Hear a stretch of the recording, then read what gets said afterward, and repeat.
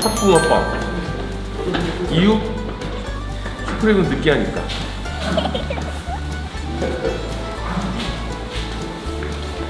붕어빵은 팥이지. 저도 팥이에요. 저 슈크림이야 슈크림. 슈크림이 더 맛있지 않아?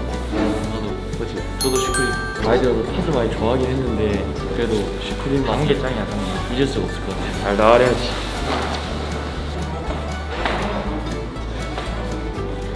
무조건 팥이죠. 네.